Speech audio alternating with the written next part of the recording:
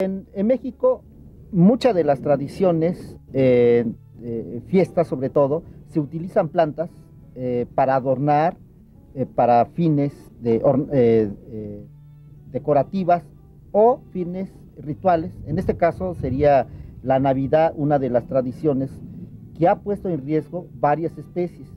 Entre ellas se encuentra esta planta que estamos viendo que pertenece a la familia de las crasuláceas. El género es eh, Echeveria. Este género se confina solamente al continente americano. Se conoce 151 especies hasta hoy y México posee 130 especies. Y de esas 130 especies, el 98% crece en este país. Y de esas, algunas se restringen mucho a ciertos sitios. Tal es el caso de esta planta que se llama Echeveria elegans, que se conoce comúnmente como conchitas o eh, rosetas. Y estas plantas, esta especie en especial, crece solamente en las montañas del estado de Hidalgo, sobre todo en el Chico, Mineral del Monte, hacia Tulancingo. Está confinada allí y su extracción ha sido excesiva durante muchos años. Y de ahí que las autoridades de la Secretaría de Medio Ambiente tomaron la decisión de enlistar esta en la norma oficial mexicana, la NOM 059, como planta con la categoría de P, quiere decir que está en serio peligro de extinción si continúan las actividades de extracción ilícita, de manera que si la planta no es cultivada, no, sería, no es conveniente adquirirla a menos que sea propagada en invernadero.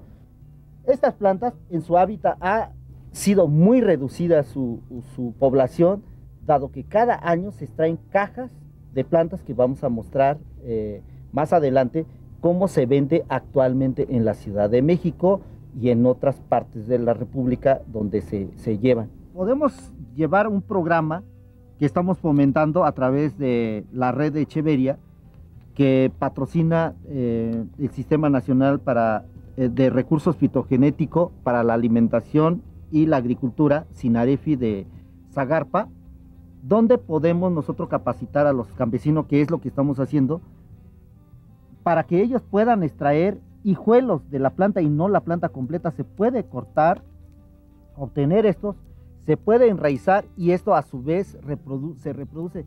Son varias vías de propagación. Uno es obtener hijuelos y la otra es a través de las hojas. La soja puede producir una planta completa y de esa manera dejar la planta madre y obtener sus hijos sin alterar los ecosistemas. Es muy probable obtener estos hijos bajo control y no causaríamos un severo daño al hábitat natural. Con el protocolo que hemos creado del programa que tenemos eh, con la gente en el campo y aquí en la ciudad, eh, el programa de la red de Echeveria, se puede tomar estas plantas y aplicar técnicas muy sencillas como ponerle enraizador para acelerar el buen funcionamiento.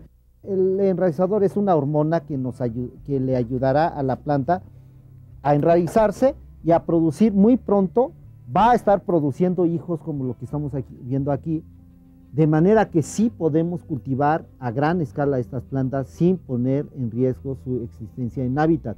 Y es uno, uno de los programas que tenemos aquí en el Jardín Botánico de poner al público en general plantas propagadas en macetas y que ya no compre plantas extraídas de manera ilegal en hábitat.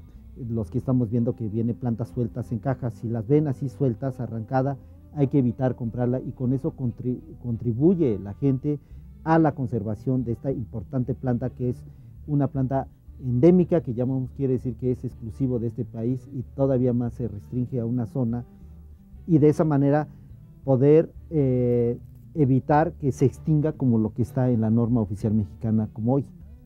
Gracias.